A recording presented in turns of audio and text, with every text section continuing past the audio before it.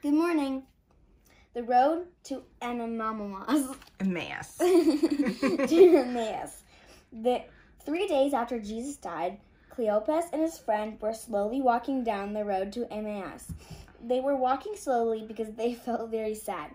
Why did Jesus have to die? They wondered. After a while, a stranger began to walk along with them. The stranger was was really Jesus, but Cleopas and his friend did it, didn't know it. What are you talking about? the stranger asked. The men looked at each other. Are you the only person who down who doesn't know what just happened? They asked this, this they told the stranger what had happened to Jesus. Jesus was a great teacher, Cleopas said. We hoped he was the one God promised would save the world, but instead, he died on a cross. We took Jesus' body down and put it in a tomb. This morning, our friends went to the tomb, but Jesus' body was gone. They said there was an angel there instead. The angel told our friends, Jesus is alive, but stop being silly, the stranger said. How many times do you need to hear this?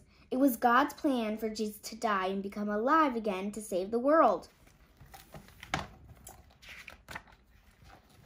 By now, they were almost to Emmaus. Cleopas invited the stranger to stay for dinner. During dinner, the stranger picked up a loaf of bread, broke it, blessed it, and gave each man a piece.